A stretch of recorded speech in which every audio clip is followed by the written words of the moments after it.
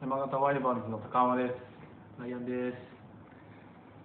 熊本の皆さんお元気ですか？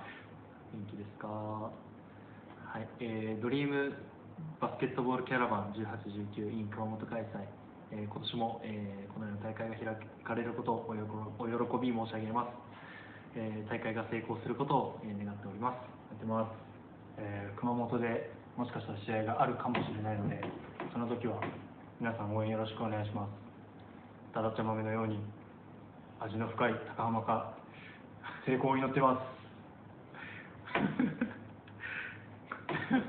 これそれそれいやそれで言ったらもうその後言えやん。うん